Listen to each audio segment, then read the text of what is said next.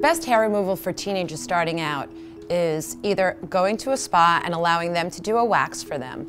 But if you're going to do it at home or if your daughter's going to do it at home or son, there's some things that you should know. There is something out there called a hypoallergenic cold wax. And this allows, one, for the safety that nothing has to be heated, and also there's no major chemicals in this. So I always suggest the cold wax for somebody starting out.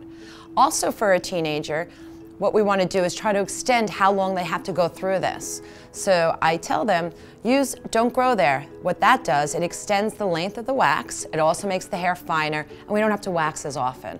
One of the things to avoid as a teenager starting out is to be doing something like this on your own. First of all, I would always make sure that I have somebody there with me who's done it before if you're going to be doing this at home. And the secondly, Always test the area first. You never know how your skin's going to react, even if it's a cold wax. And shaving, shaving's a skill, believe it or not. So I always say start off with the cold wax, do a little test, and have somebody there with you.